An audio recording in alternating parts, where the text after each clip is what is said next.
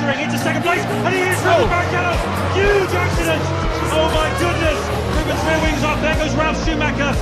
And I think we're going to have to restart it. There's an absolute yes. And one of the Bennett's is on fire. That's Jenson Button, Martin. Total carnage. It started with Ralf hitting the back of Barrichello, flying into the air, and then everybody shunting behind in.